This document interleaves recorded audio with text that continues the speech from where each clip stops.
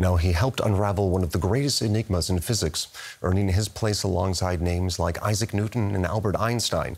The father of the so called God particle, the Nobel Prize winning physicist Peter Higgs, has died age 94. The University of Edinburgh says he passed away peacefully in his home. Higgs was famous for his groundbreaking theory from the 1960s, which proposed a new particle known as the Higgs boson. He argued that the boson helped bind the universe together by giving particles their mass. Decades later, his theory was proven by physicists working at the Large Hadron Collider in, at CERN in Switzerland. He was honored with the Nobel Prize for Physics in 2013. I'm now joined by Joseph Incandela, Distinguished Professor of Physics at the University of California, Santa Barbara, and the scientist who announced the discovery of the Higgs boson in 2012. So, if you could take us back to that moment, Professor, what was it like to announce that discovery with Peter Higgs in the audience? Well, obviously, it was a tremendously exciting uh, moment, and uh, perhaps one of the biggest moments in our in our field for many decades. And um, I wasn't absolutely certain that Peter would be there until shortly beforehand. Um, and uh, well, we were just very happy that he could be there. I saw, I saw, that you showed a little clip of him wiping his eyes. He was very emotional at the time when we announced the discovery. Uh, I was representing the CMS experiment, which I show in the picture behind me here. And Fabiola Gianotti was representing the ATLAS experiment. And together we both had very strong evidence for the particle that he proposed almost a half a century earlier. Um, so it was a long road to get there. Now, before we continue, could you please help some of our viewers understand exactly what the importance of the discovery of the Higgs boson meant for physics? It was a very key part of our understanding of how, how the fundamental forces and particles exist.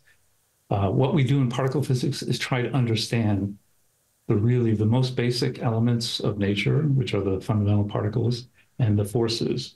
And we developed over much of the early uh, 20th century uh, a pretty good understanding of, of how this all worked. And um, one piece, though, one piece of the puzzle was trying to understand how some of the force carrying particles could have mass. And in fact, how any particle could have mass. That became suddenly a stumbling block for any, any uh, you know, real completion of our understanding of the universe.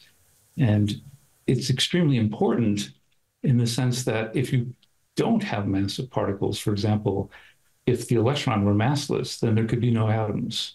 Uh, we would not exist. And it turns out that this ability to, to create mass uh, from particles occurred early in the universe. The universe wasn't essentially uh, able to do that initially, mm-hmm. but a transition occurred. And this is uh, this is really what's now known as the Brout-Englert-Higgs mechanism. And there's a particle associated with it, which, as you mentioned, was the Higgs is called the Higgs boson. Mm-hmm. And uh, that particle has often been referred to as the God particle, or also the Higgs boson. But we know that Mr. Higgs was never really comfortable with that term. What does that tell us about the man?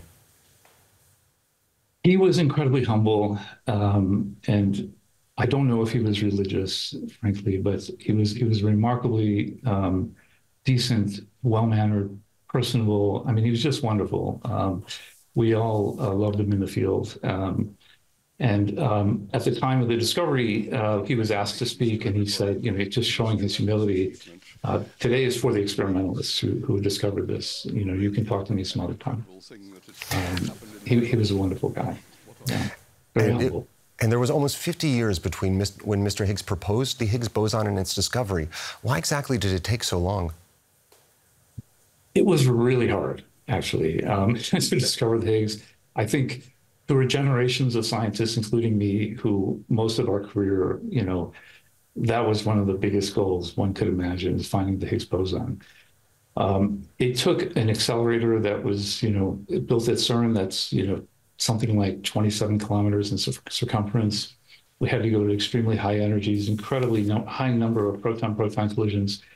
And I estimated that, you know, our signal that we found the Higgs with, the, the discovery, was something like a few hundred proton-proton collisions. And that was out of 1 billion million total collisions. So it was really very difficult to find. And it took very dedicated experiments with thousands of physicists. Um, many, many people uh, contributed to this. And, um, and it took, well, as I said, it took almost a generation to prepare and find this, uh, this, this particle. It was truly an astonishing discovery and an astonishing work. That was Joseph Incandela, Distinguished Professor of Physics and the Vice Chancellor for Research at the University of California, Santa Barbara. Thank you very much for your insights. Thanks, thanks for having me.